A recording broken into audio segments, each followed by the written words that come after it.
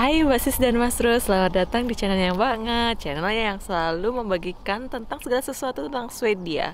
Dan kali ini kita akan membicarakan tentang apa aja sih persiapan yang harus kalian persiapkan ketika kalian mau pindah ke negara lain.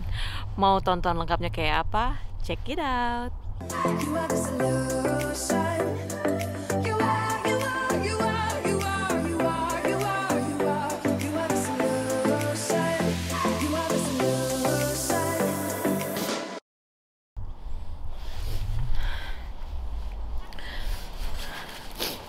So hari ini kita jalan-jalan lagi keluar Yaitu kita ada di Is it a lake sayang? Or Hovet? Jadi kita sekarang berada backgroundnya ini adalah danau Danau yang masih agak-agak sedikit beku nih kalau kalian bisa lihat ya Terus di belakang ada burung yang sedang tidur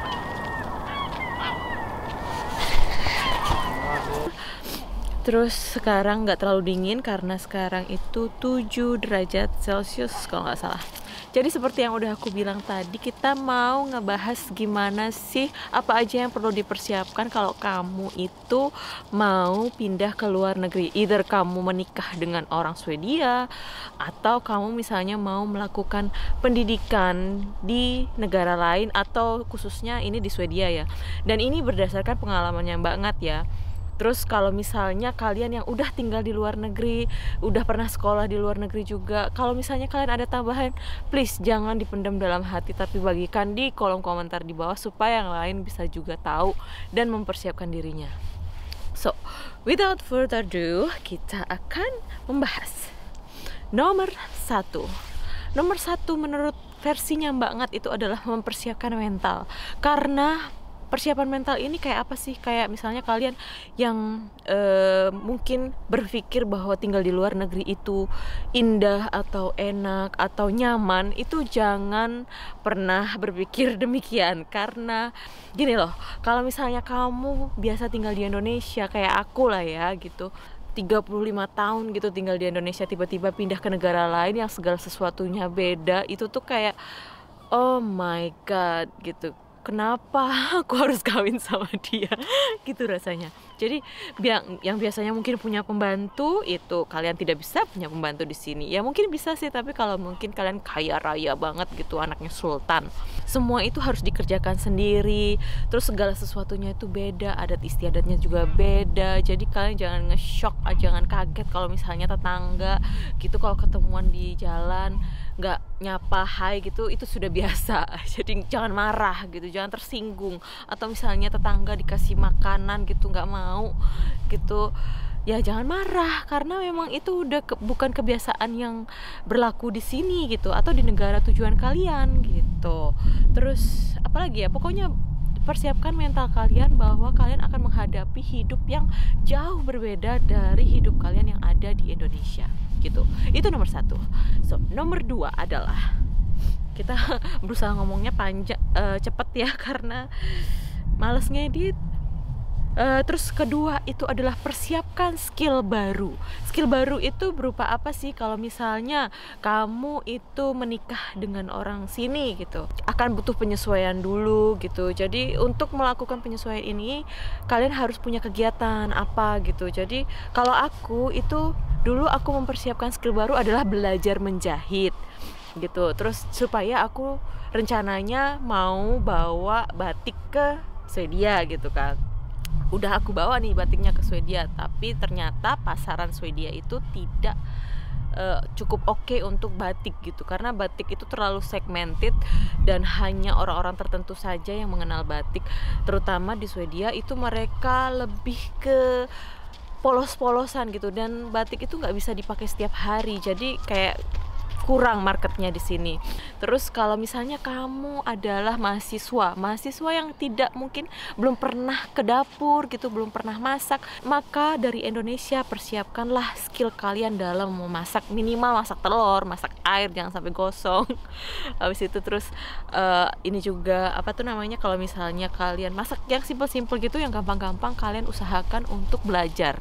Karena di sini untuk belanja atau jajan makanan di luar itu mahal Maksudnya kalau misalnya kalian harus belanja tiap hari atau jajan itu hello untuk sekali makan di sini paling murah itu adalah 150.000. 150.000 kali 3 dikali berapa tuh? bodoh, bodoh. 450, 500 take it. 500 habis itu terus kali berapa? 30 Hah? 15.000 berarti 25 22 juta untuk makan. Hah, kalian pikir dong baik-baik itu. nggak mungkin kan? Jadi lebih baik kalian belajar memasak gitu. Memasak nasi kalau perlu. Masak nasi aja yang penting. Kalian masak nasi tinggal ditaburin sama garam. Nah, ngirit kan? Terus skill apa lagi ya kira-kira? Bisa juga kalian misalnya mau jadi tato artis gitu. Kalian belajar dulu cara mentato. Terus apalagi skill yang lain? Misalnya kalian belajar untuk cukur kayak Iqbal. Jadi kalian belajar mencukur, dia itu mahasiswa jadi dia belajar cukur rambut habis itu terus dia eh, menggunakan keahliannya ini untuk mendapatkan uang tambahan. Bagus kan? Ide bagus kan? Terus apalagi? Ya kalau misalnya kalian ada ide lain silahkan tulis di kolom komentar ya biar kita bisa bercerita lebih lengkap.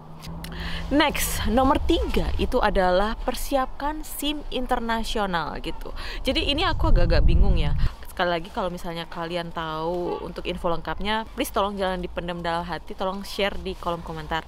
Jadi kalau misalnya kalian punya SIM itu sebenarnya berlaku di sini dua tahun eh satu tahun satu tahun bisa dipakai di sini nah aku bingungnya sim kita kan nggak ada bahasa Inggrisnya ya gitu jadi aku kayak ragu gitu untuk make sim dan untuk nyetir di sini karena gimana mereka taunya kalau ini beneran simnya kita gitu kan. Mereka kan nggak tahu bahasanya.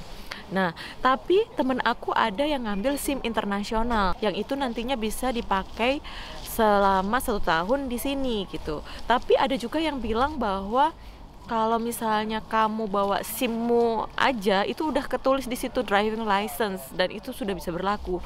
Cuman untuk aku sendiri aku kurang yakin kan jadinya aku nggak berani nyetir di sini. Ya kalau di sini kan setirnya kiri sementara kita kan biasanya setir kanan jadinya aku sih kayak nggak berani ya gitu kayak takut gitu. Sedangkan pertama kali ke sini ngelihat jalanan yang ada di kanan jalan aja aku kayak pusing gitu. Terus ya udah sampai sekarang aku belum pernah nyetir. Terus nomor empat yang harus kalian lakukan adalah kalau aku itu juga menutup eh, NPWP yang kalian punya di Indonesia. Kalau kalian sudah bekerja atau mungkin punya usaha terus pindah dan mungkin tidak melanjutkan usahanya jangan lupa ditutup dulu NPWP-nya dinonaktifkan supaya kalian tidak perlu ra- laporan tiap tahun gitu. Dan nantinya kalau misalnya kalian kerja di Swedia atau punya usaha mungkin di Swedia nanti orang pajaknya Swedia itu akan menanyakan pajak kamu di Indonesia atau di negara kamu sebelumnya gitu. Jadi apakah kamu ada hutang pajak atau tidak. Jadi mereka harus memastikan sebelum kamu mendaftarkan NPWP di Swedia. NPWP emang di sini NPWP. Pokoknya mendaftarkan kamu sebagai eh, taxpayer gitu. Next, terakhir terakhir itu adalah persiapan rencana pendidikan, yaitu misalnya kamu menikah kayak aku ya kayak aku kan itu menikah dengan orang Swedia. Jadi aku pindah ke sini bukan karena aku sekolah bukan karena aku bekerja. Jadi siap-siaplah bahwa kamu mungkin kuliahnya tidak kepake selama ini. Karena kayak aku aku punya pendidikan background pendidikannya itu komunikasi. Tapi aku kerjanya di ekonomi selama bertahun-tahun. Jadi nggak ada pekerjaan di komunikasi selama ini gitu. Sementara di sini aku jadi bingung kalau misalnya aku mau meneruskan pendidikanku yang legal itu maksudnya pendidikanku yang sah yang ada ijazahnya itu kan aku di komunikasi berarti aku harus me, apa ya menyesuaikan nilaiku yang ada di Indonesia untuk bisa kuliah di Swedia. Jadi SKS-nya itu disesuaikan dengan SKS-nya di sini gitu. Sementara kalau aku mau memakai pengalaman kerjaku untuk dasar mencari pekerjaan berikutnya itu aku harus mulai dari nol juga. Aku harus memulai kuliah dari awal dari year 1 gitu. Jadi kayak sial kenapa begitu ya? Terus jadi kayak bete kan? Jadi persiapkan pendidikanmu. Kalau misalnya kamu mau belajar bahasa Swedia mungkin dari Indo- dari Indonesia atau mungkin kalau di khususnya untuk Swedia ya itu belajar bahasa Swedia di Indonesia nanti sertifikatnya tuh nggak kepake gitu. Karena kalian harus memulai juga dari awal. Ya paling cuman bisa memulai bisa tahu dikit-dikit dulu gitu it's okay gitu. Tapi kalau misalnya terus yang ada ijazahnya itu nggak akan kepake juga sih di sini gitu. Toh kalian akan mulai juga dari 3D eh 3C atau D. Eh dari B atau 3C gitu. Tapi aku juga nggak ngerti sih pene- penetapannya gimana. Katanya sih kalau yang B itu yang belum pernah yang eh, hurufnya bukan alfabet gitu. Tapi kalau misalnya kamu A B C D gitu masuknya tetap ke C, tapi ada beberapa temen yang masuk ke B duluan. Kalau aku sih sebenarnya pengen masuk ke B aja sekalian biar biar bisa mulai dari nol banget. Gimana sih dasar banget dari Swedia ini toh juga aku masuk ke C langsung pusing kepalanya yang terakhir tadi udah terakhir ya tapi kayaknya ini yang terakhir adalah mempersiapkan mungkin dokumen dokumentasimu jadi kalau kamu misalnya punya dokumen-dokumen kayak akte lahir aku translate gak ya? Jadi translate kan semua dokumen-dokumen kamu termasuk dokumen tadi yang pendidikan ya. Jangan lupa ditranslate ke bahasa Inggris. Karena susah untuk mendapatkan translator bersertifikat atau aku lupa istilahnya blank langsung jadinya gara-gara kena asap nih.